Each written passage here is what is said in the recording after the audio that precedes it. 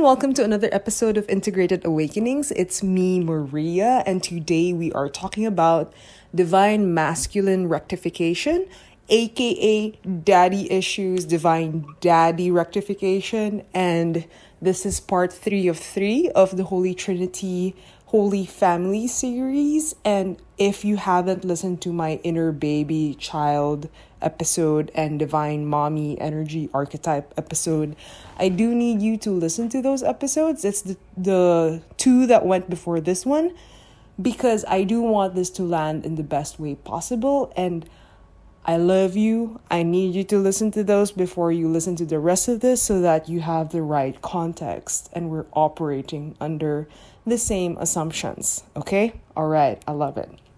Okay, so if you've fully finished your like week around exploring this divine mother archetype within you, I can already feel that you've probably unraveled some chains, some baggages around the masculine archetype. Why? Because your mother had a relationship with them. Your your feminine friends, feminine being, feminine care was influenced by how this masculine energy led them. Or maybe your mom was very masculine in the first place. So there is uh, interweaving of these two energies. Yin is in the yang, yang is in the yin. We move between them quite often. And for the sake of last week, we were biased towards one, but it doesn't mean that we didn't realize some things for your masculine. Right? Right? Okay, now I know that some people might trip up with like the words feminine and masculine. So for the sake of this podcast, I do want to emphasize that this is yin and yang energies. So basically yin is the receptive nurturing aspect of how your inner child needed to be nourished and supported. Yeah, like mama bear energy. And the masculine is more of a or again, yang. The yang is more of outward focused pushing energy, almost like a hunting energy. Like, think of a, for example, like a lioness hunting for prey, right, to feed her cubs. So, more of this external hunting energy. Okay, yeah, a little bit more of a warrior energy, a little bit more of a protector energy, like uh, I will protect the den, I will protect the boundary, I will make sure that the clan is okay. So think of like the alpha wolf. Yeah. because it's like they're the head honcho of making sure everyone is safe. Yeah, so this is like the difference in terms of texture and quality. Now, I understand a lot of people get tripped up about the gender, so I want you to really tune into the energy because these qualities might be assigned flipped for example, your mom was doing a lot of the bark, bark, defensive, protective energy, and a lot of like the emotional world of your household could have been done by your dad, right? So I do want you to divorce the idea that this needs to be assigned to like gender heteronorms and really allow like for you to see who is it who taught you to protect who is it that taught you to be strong? Who is it who taught you to occupy space in the world? Yeah, th- those are like square ish masculine yang energies. Yeah, so for me, it arrives like a cube, right? Whereas the yin is more of like a circle slash a sphere, meaning there's no edges.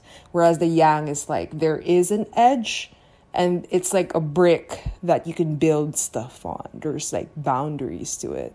Yeah so if this was like geometry or physics squarish energy versus spherical energy. Yeah yang energy versus yin energy. So this i'm trying to give you like these modes of thinking that really helps you um, kind of lean away from gender stereotypes that might be limiting like how you're perceiving this. So anyway, I could already feel that the people who have already gotten the grasp of the flow of the feminine I can already feel that the people who have a grasp of the feminine episode will already have an idea of how the flow of masculine rectification would look like. So, if you want it to be spelled out, I will give it to you. So, it's basically tapping into your inner child and then how did they want to be defended? How did they want to be felt that they were secure, felt like that they had the right to fail and also the right to try, the right to better and best themselves, the right to do hard things. Yeah. And really imagine the perfect yang protector parent energy that would couple like the perfect complement to the divine feminine you just explored like what would be the divine couple of that energy and really just explore it in your system. So is it more of like a fortress? Is it more like an eagle? Is it more of like a staff or a glaive? Right? And then if you don't like location slash animals, you could totally go for you know, celebrity crushes or even like these people who you wish were your daddies, right? You wish they daddied you. Why? I don't know, they just feel so secure right? They feel like I could lean on them. They feel like they would pay for what I need, right? So, again, tapping into that kind of energy, rooting into that signature, and really giving it to your child. And again, retroactively going from like your earliest childhood memory and then running through your upbringing being like, oh, what if I was like perfectly supportive? what if I could fail and what if I was encouraged? What if somebody uh, buffered my strength? Meaning, they, in Tagalog, sasanggahan ka, meaning like, um, you know how when you're building a building, there's like scaffolding. There's like these temporary buttresses that help you build yourself up until you've like solidified yourself. So while I was using the walking metaphor in the last episode, for this one, it's almost like you need a mold and you need a scaffold before you harden and become strong, before you find your own footing, before you find your own foundation and structure right? So I'm using a lot of Capricorn I- imagery because Capricorn is very elder masculine energy. So the thing is, somebody needs to hold that for you. And it's very, it's less about embracing and more about structure, like buttressing. And the thing is, what if that was available to you in all of your ages? So you could go from like, for example, your earliest memory is four years old up to now right? Especially in the early adolescence and the transitioning in the young adult era, like your 20s, 30s, like that. What if you had that perfect buttress, right? And I know that a lot of people who have kind of messed up dads or have this daddy angst, especially if you have like um, a religion that's heavy on the divine father coding and you know maybe you had a falling out with that masculine energy coded god that you might feel like oh shit i don't have support. I don't have foundation. I don't you know if humans can't do it and then this false god i had couldn't do it or like you know you you could end up a little bit jaded and very scornful and isolated. Honestly sad too. Because it's like your ch- your child your inner child's like deprived of this nutrient of this masculine support right? That buttress. And the thing is i really want you to have that energy regardless if humans or for example your religion failed you yeah in the same way that your inner child deserved a nurturing mother regardless of your angst with the mother archetype your divine like really look at the pain of your divine child being deprived of a father energy. Like seriously look at it seriously looking look at it crying look at it being hurt look at it being isolated from the world because no one will fight for it or no one is proud of it or no one can like really showcase that child's light look at that look at that fucking sad story. Stare at it. And i want you i want you to show up for that kid. Because the thing is that we tend to make excuses for our weaknesses of why we can't be strong because we think that we want to be saved or we like being a victim. It's quite convenient. And the thing is, that kid has been crying for you, for your strength, for your support. And I know that we could we could blog about it, we could complain about it, we could whine about it. But it's never going to be perfectly loved until your divine masculine fully comes online until your sense of defense, strength, fortitude, integrity, sovereignty comes online, like your inner kingdom comes online and be like, oh no, I'm gonna keep you safe. You know what? Queer people get this because, okay, so I'm queer, so queer people get this. When I want to protect like a feminine energy, like I have a crush on like someone who's very feminine, one of like the first phrases that comes in your mind is that I want to protect her. I'm gonna keep you safe. It's very natural. Like it's this natural instinct that comes out of love. So so for example, somebody who's more like of a feminine being and have like uh like have this adoration towards this right, masculine boy or like masculine man. It's like, oh I wanna I wanna spoil you, I wanna ravish you, I wanna gift you, right? So there's this thing where it's like, um, I don't want you to overthink or ape these energies. I want you to try it out and see how your divine masculine slash protector slash daddy manifests. Like, what's the script of your daddy, right? So, if my daddy is like, I want to keep you safe, or I will fight for you, if that's like my the script I like, what's the script you like? Right? Is it I'm not gonna leave? Right? So for example, you were abandoned a lot, maybe that's like your juicy sentence, I'm not gonna leave, or maybe it's the I can be strong for the both of us. Yeah. So especially if you always needed a teammate, right? If you always felt like there wasn't um if you always felt like you were always reaching for help and you weren't being salvaged or like uh how do you call this? Being met. So my point is that i want you to be able to hear the script of your divine masculine the one the, the freaking vitamin and nutrient that your inner kid needs and really stare at that kid and be like i want to give that to you. Because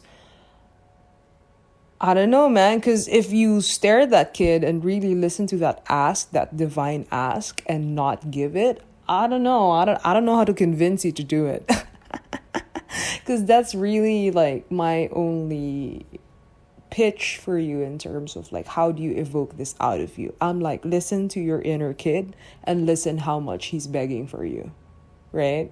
So um, try out the script try it out feel the change in your energetic body feel if you feel like a mountain feel if it's stronger around your limbs like your legs feel if if you are touching your inner child right? If you if you change the pitch of your voice like just just notice the energies and amplify. Again like the process i shared last episode go for 100 200 300 get to a zillion go across dimensions go across lifetimes and versions and really focus on giving it to yourself. I don't want you to solve the patriarchy. I don't want you to fix your physical dad or your brothers or even like the masculine of like your abused friend. No touch. Don't that's not your business. No. No you are a portal, you are fucking multidimensional. There is so much healing potentiality within you, and I'm telling you, please address you first, the gate of you first. There is no influencing or sharing or gifting towards other people unless you are fully rectified. So no touch, no touching, no fixing, no don't fix boyfriend, don't fix girlfriend. Okay? Don't no. Stop. Stop. I really want you to dig into yourself.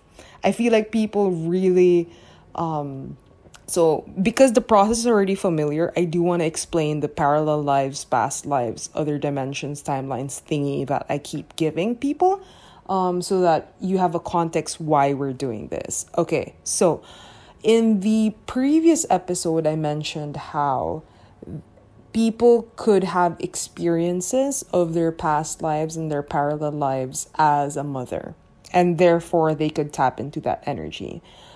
I do want to explain that as much as these good qualities are transported, it's probably going to be familiar that these karma slash trauma slash cycles are also transmitted. So, for example, if you've always had an energy around being, say, taken advantage of by people in power or you're like a person in power who's always been a little bit greedy about power and you keep repeating the cycle it feels like okay here's the thing I need to speak to two people. So basically, the people who've never experienced this multidimensional hopping thing and the people who've experienced it. Okay, so let me address the people who haven't. Okay, so for people who haven't, basically in deep, subtle states, so let's say regression or deep dream states or deep deep trance states. So this is why the ayahuasca people and the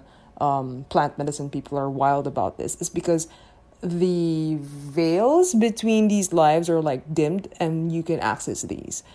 Uh, the reason why they're divided is because waking up to the linear timeline is also kind of like a test yeah, sorry. it's kind of like uh, realizing that you are beyond this timeline is kind of like a test.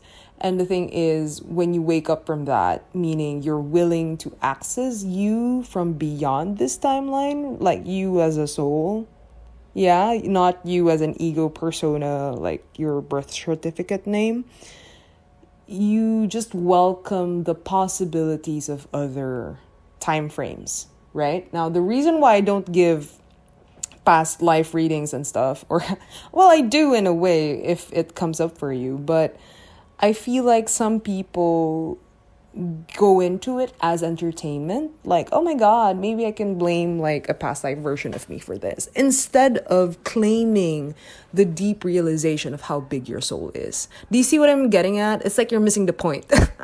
I feel like when people entertain past life ideas of themselves they get entranced with like the fantasy element instead of rooting into soul. This is why some disciplines, like yogic disciplines, like Sadhguru would say that, why would you tap like the karma of your other life if you can't even handle the karma of this life?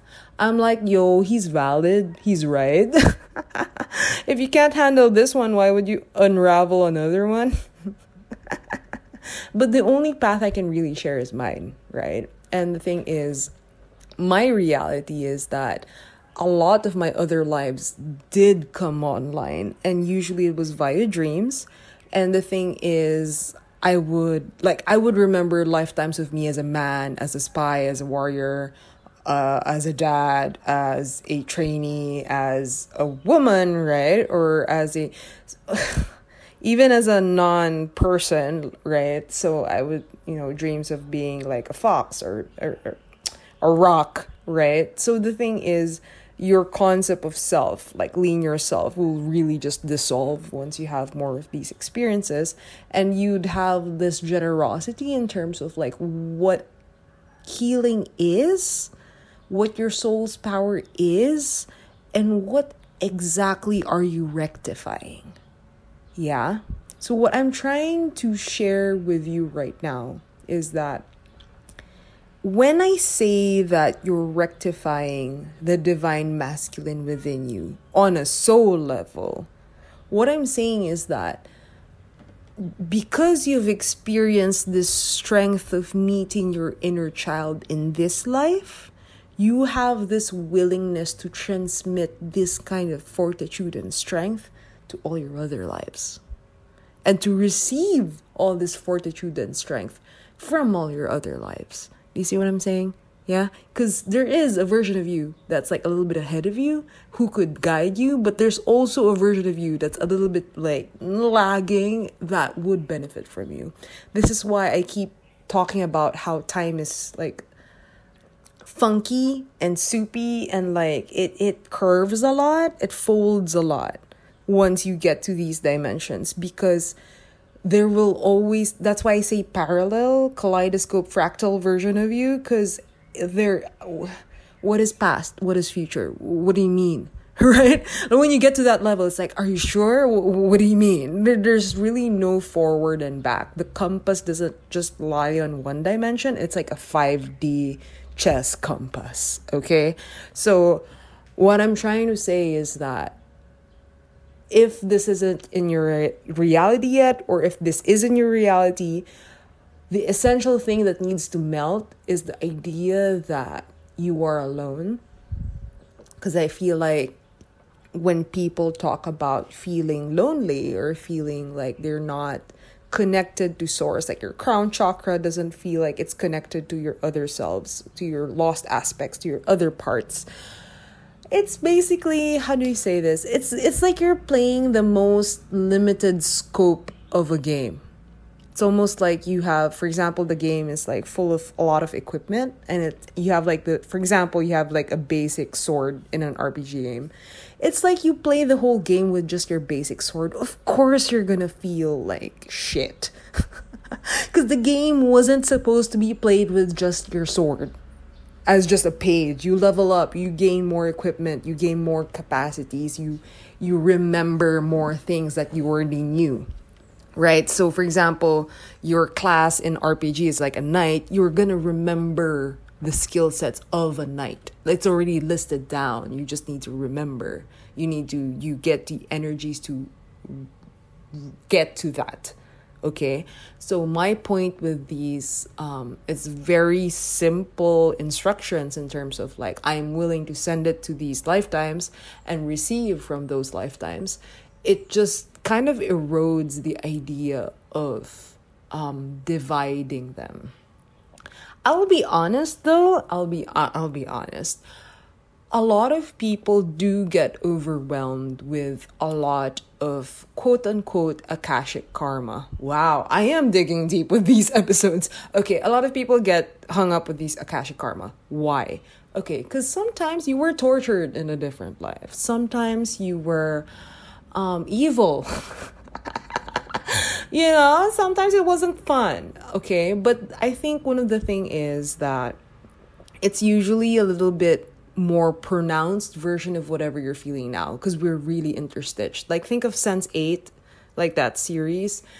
Um, but anyway, if you haven't seen that, it's fine. I'm explaining it. So for example, for me, I do have a lot of lifetimes where I am like an oracle slash witch slash so so the thing is a lot of these abilities came through when I was able to tap those lives, but also all of the witch burnings, all of the scorn, all of the danger, all of the um, evil eyes I had to put up because of the how you would take advantage of that energy in those lifetimes echoes to here right? So I remember when a lot of like my uh, psychic senses came on, I really had like this deep fear of revealing myself. And it wasn't just from this lifetime, it was from other lifetimes. It was my other lifetimes trying to keep me safe, right? And the thing is, I needed to be able to heal, rectify those timelines, and be like, oh, I understand the powers and like the universes of those timelines to really understand why I had to do that, why I had to self protect that way. Yeah. So, what I'm saying is that, so for example, your strength comes online and it's like this unbelievable strength. And it's like a strength from a timeline where you defeated slave owners because you needed to free slaves. And then what comes to you is not only strength, but also anger, but also justice, right? but also a remembrance of deep leadership, right? So, what I'm saying is that when you remember and tap and rectify these stuff, it's usually not just one thing. It it unravels more. If you did the last week's exercise quite sincerely, this would have already been happening for you and this is just the explanation. Right? Okay? Yeah. But so the thing is, so for example, for feminine, there's like a lot of abuse. I'm sorry. It's it's not just in this timeline, but other timelines as well. But I guess what I'm trying to say is that when these things come online and you rectify it, what's funny is 1 minus 1 equals 0. You think that you need to change your approach in terms of love, in terms of loving the aspect of you that's like reaching for you, talking to you about like power abuse. But the thing is, the only thing you need to do is like love and accept it. Like kiss their little forehead and be like, it's okay now. Yeah? You remember how you treated and like showed up for your inner child? All those aspects of you that are reaching for you that are in mild pain, some version of pain, treat it like your inner child. Treat it like those scorned, um, abused aspects, repressed aspects, uh, corrupted aspects, right? Meet it like that fucking kid and love it. I love you, I accept you, understand. Right? Because the thing is, I feel like a lot of people sometimes um, overbloat the drama, meaning, oh my God, I was a slave owner. You know, I could never forgive myself, blah blah blah, and then and then they kind of stew in this guilt shame loop for a while, and I'm like, okay, here's the thing: when those facts, images come online for you, you know what they're asking for? They're asking for your love.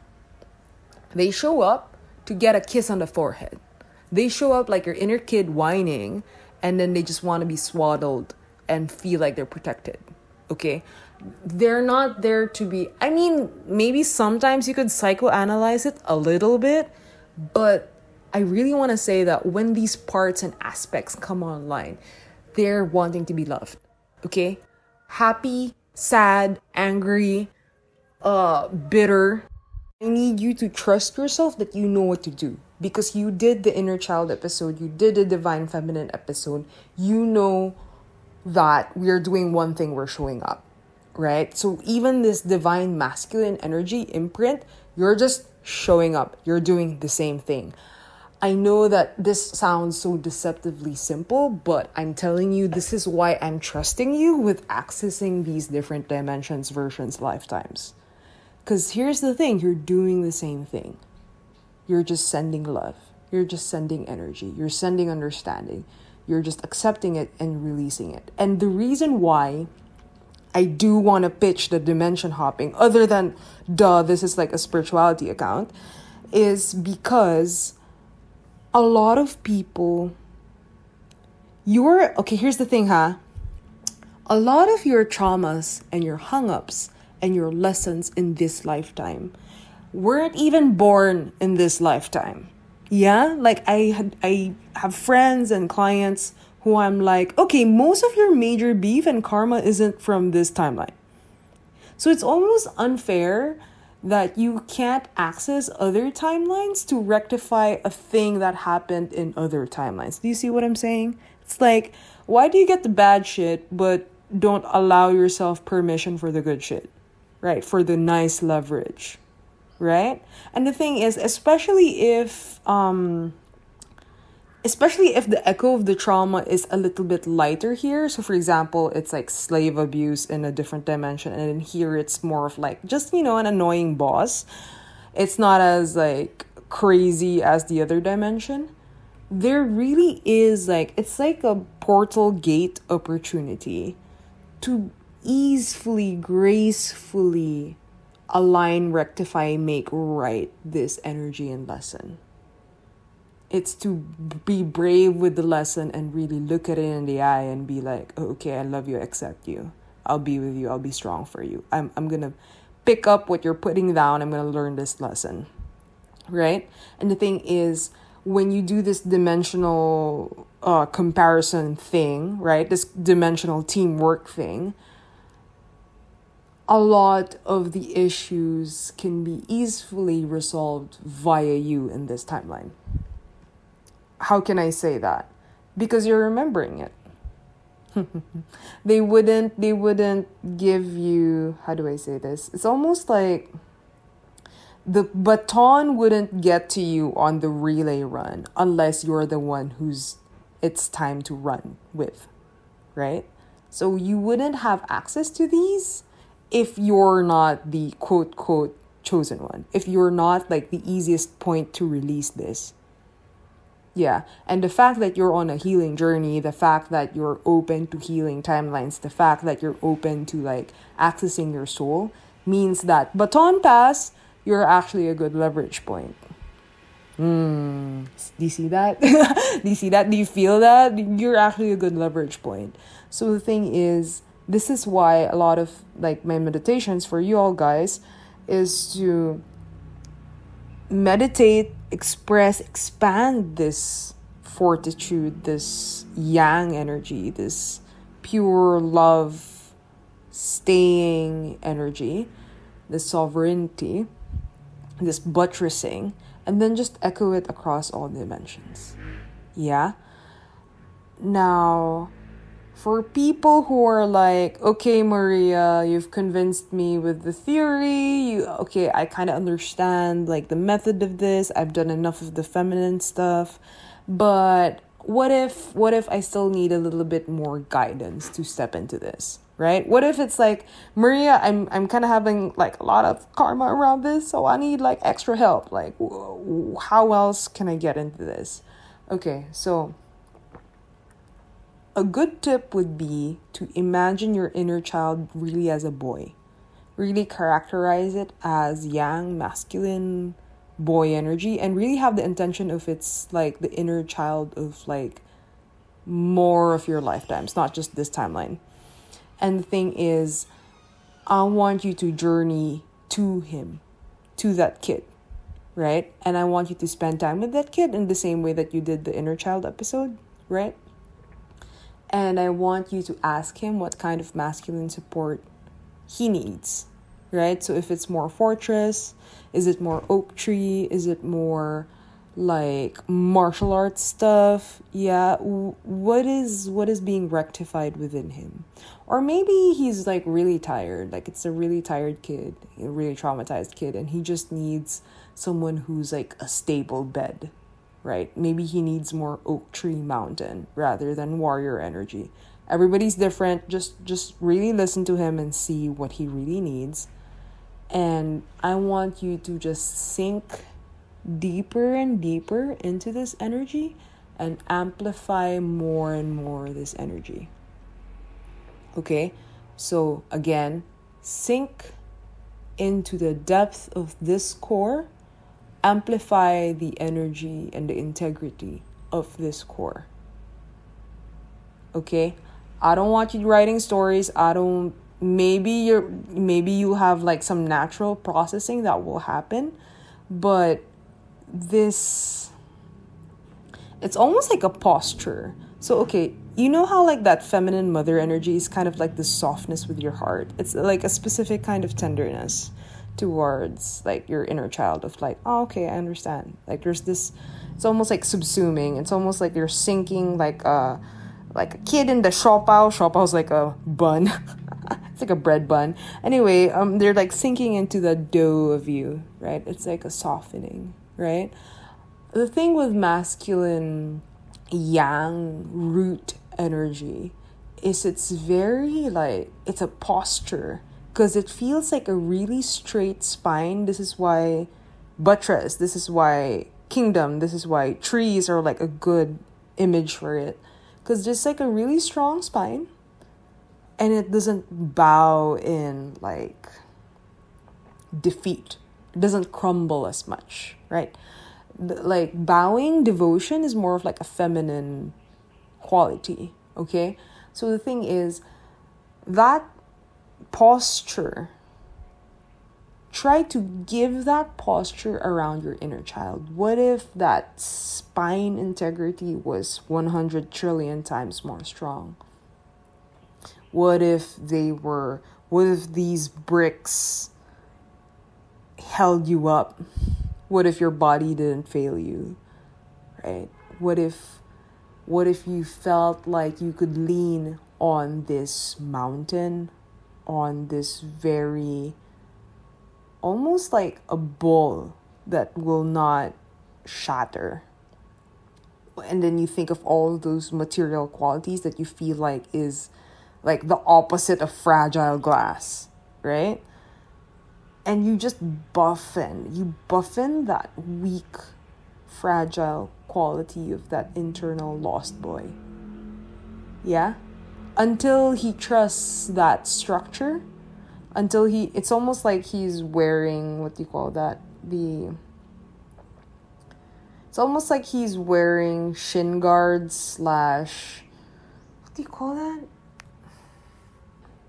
It's kind, it's kind of like when you're recently injured and you kind of need like that wood support and then a little bit of like walking stick support to be able to like gain your posture again yeah. So I really do I know that this is like a lot of emotional work, but on an energy level, this is very physics. This is very geometry, metaphysics, um energy dynamics kind of thing. So weak leg, injured leg, boy who's like too mushy cannot stand up for himself and then just just put all those stirrups, put all those like strong postures, right? And then almost just chime those postures outward. Okay? Okay? Stand for him. And then allow it to echo. And I know I can really feel that a lot of people want to process slash make this more complicated. Yeah? I know, I know, I know, I know. It's almost like, oh my god, what does this mean about my like uh, my business or like uh, what what does this mean in terms of like all my expectations with a boyfriend, blah blah blah. No, no, no, no, no, no, no. Okay, I want you to just feel like you can transmit this supportive energy to any weak parts of you, and then keep multiplying it to every direction. Okay and then when you have more energy, more stability, more of this posture, more of this structure, all the things that you will do to rectify like your masculine wounds, for example, you have like daddy drama or like your boyfriend drama, it will come from clarity, stability, confidence, independence, and not from like desperation. Right? I need your kingdom to be built. I need you to be solid before you move. Okay? So even before you touch your whole processing shit or like try to physicalize all of this stuff, I need you to energetically feel all of this first. Yeah? And same with the divine feminine thing. This is something, this is actually best when you are waking up, like with the sun right? It's like you're coming online into your body and it's becoming more solid, solid, solid from like deep sleep. Okay, anything that's weak from you, buttress, buttress, buttress. Yeah. If you are into sports, if you go to the gym, if you do anything that's quite like um that will really enliven your energy dynamics. So maybe this is qigong or something for some people, or maybe even golf. I don't care. Uh, as long as you're sensing into your body and your energies while you're driving you know i don't i don't care. When do you when can you visit this energy and then really try to amplify it? So i do this a lot when i do gym sessions. Like i really celebrate my divine masculine warrior archetype energy. How can i strengthen my spine more? How can i feel even more protected and how can I transmit this to every version dimension lifetime of mine? Yeah, and you can feel it, yo. You can feel you can feel the fucking blessing. So just explore it, have a time to explore it, okay and then the clarity arrives in the same way that the feminine i wanted to emerge out of you like these these realizations or these processes and you're, you're like oh i noticed that my my feminine expresses itself this way i want your actions right your the physical actions that come from this healing to come from like this emergent quality of clarity I don't want you to think about it. I want you to just realize it. Yeah, it's different. It's different. It's it's a little bit more uh, rounded slash big picture. I want it to be clear rather than derived. Like, of course, this is the obvious pattern rather than something you had to architect out of nothing. Like a bunch of excuses to, oh, okay, this is what's going to patch up my problem. No, I want this to come from like a clear dragon eye, eagle eye seeing of, oh, I am so stable that I actually have more space and I actually see what must be done. And it's not coming from ego of like, oh, I want to be more proud or more strong or whatever. It's actually, you just realize it has to be done. Your kingship is so solid that it's like, oh, this is just what is true. This is what's essential. And there's no, walang labis, walang kulang. There is no excess. There is no uh, lack or scarcity or detriment. It's just right doing. It's just right. Yeah. And that's like the quality of like a really mature, healthy masculine.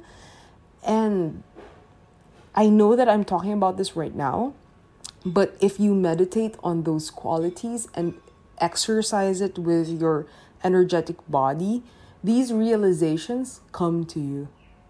Like they are experienced, they arrive. So I don't want you to have a mental relationship with this fucking daddy energy. I want you to feel it. And I know that some people are like, "Oh, I want to be initiated. I want to be, you know, I want I want like some cool daddy mentor to like talk to me." I'm like, "No, this is it." this is it. You decide to do it and then you welcome it and then they come to you. Okay? And just like the episode before, maybe you want some examples. So, some good daddy energies are like Archangel Michael. Metatron is also really good. Yo, some people love the classic Jesus, right? So, and then again, uh, characters you like. What else is like a good masculine? For people who like a lot of mythical creatures, dragon energy. Very, very, very strong. This is is very, very like very flame of Recca of you need to have a pure heart and not be full of bullshit to like um tango with this energy. Yeah.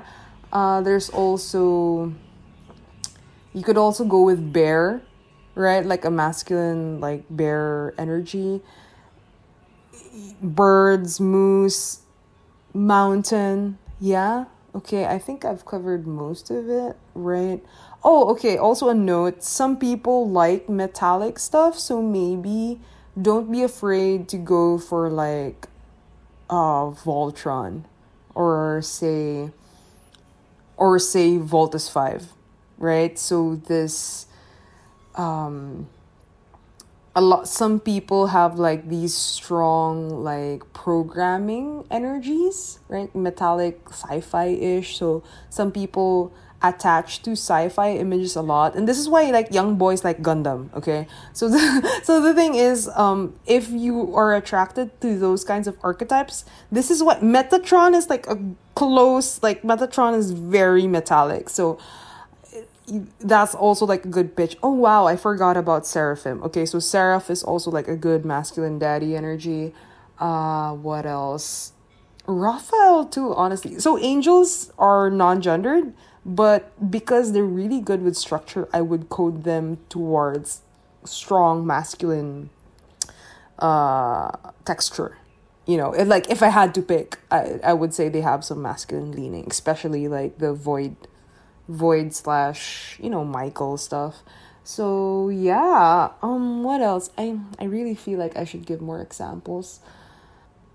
So in the Philippines, there's a lot of feminine mountains, but a lot of bigger mountains like the Yosemite in the United States or Kailash in India, Himalayas, tend to be more masculine because it's like holding ground, right?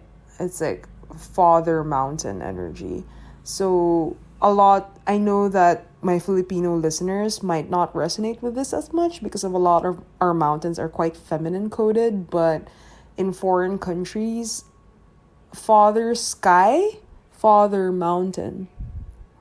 Right? So even in Japan, the the archetypes around mountains and sky gods tend to be male right? So whatever is true for you locally and personally especially personally what's your personal faith like? I do want you to lean into those energies and explore it. If you have questions or if you're like, "Oh, I want you I want kind of like specific help to like transition this and unpack this, like for example, you want to do a ceremony for more of your versions, or you're like, oh my god, I have like a male kid and I want to rectify this now, right? And I want all the help now. You can schedule a session with me. Um, just book online, email, comment. Um, and yeah, if you find this helpful, like, subscribe, forward it to your friends. I do really, really want people to rectify like their masculine energies. And remember my whole thing about don't try to help other people unless you fully helped yourself. That's the thing the only way another masculine energy is going to listen to you is if you are in your full authority and sovereignty. So, for example, you have like an older male guy and they need to trust your advice, like masculine energy advice. If you're not in your integrity, they're not going to buy it okay this is really why i'm pitching for this and even when you're guiding like smaller like younger energies uh, for example the masculine of like a younger girl or even like a uh, like a like a cousin who's like not matured into their full masculine you can't tell them that you're like a superior man. Yo it's not that's not how it works. That's not how it works. It's it radiates off of you. That that sense of integrity radiates off of you. So um and the only way that they could really listen slash even model themselves out of your own healing is if you actually had your healing. You see what i mean? Right? So if you want to heal like these men around you or the inner men around the women around you or the queer people around you if you want to rectify like masculine patriarchal systems around your work and stuff why would they listen to you why would why would they be led by you if your masculine wasn't fully rectified and healed if he's crying in the corner feeling weak from like all these patterns timelines uh, you know karma no one's standing up right? No, there's disempowered. Nothing's gonna happen. There's no change. There's no there's no ushering of a new kingdom. Yeah, so I really need you to build yourself up before you even try anything. Okay? And then if you're gonna go try stuff, I'm so excited for you. I love it. Go do that. I'm a fan. Okay, all right that's all I got for these trifecta series of the Holy Family. I hope you really enjoyed because I feel like this is one of the most core, deep, essential aspects that people really do heal and rectify. Because honestly, yo, if you fix these three things within you, like in a very deep, sincere way, I feel like every time you hear someone's problem or you kind of engage yourself in the world, you already have like such a that's like a robust tool that you could always use. There's always like an inner child that's like needing to be heard. There's always like more love being more authority or sovereignty, more integrity that's being needed in a situation. And as long as you could freaking transmit that, you're always coming from, wow, I may maambag ako, I can give something right? I'm not coming from, holy shit, this is too much, right? It, you're actually coming from wholeness. You're actually coming from fullness. Yeah, so I'm really saying that these wheels of like this holy family thingy is going to be applicable to you. even if you live alone, even if you don't want a family, even if you don't even have a lot of relationships, this is gonna be helpful and useful. Yeah. And if you're like into like a lot of relationship work and a lot of like family setups, oh boy, this is this is gonna be super essential and fundamental for you. So um I'm rooting for you. I hope you really explore this. Do comment though uh especially i'm gonna post like ig quote pullouts and videos i think. And i do want to hear your stories around the unraveling of this. Yeah so because i do really want uh everyone's inner child and divine femme mask like healthily come online. Yeah I, I really do want that for the whole world so anyway that's it and I think there is a few more episodes for this first season of Integrated Awakenings, but I, I'm really happy that y'all joined me and are so willing to listen here and do the work of healing. And yeah, yeah, we look forward to the new episodes or the next episodes. So, ciao.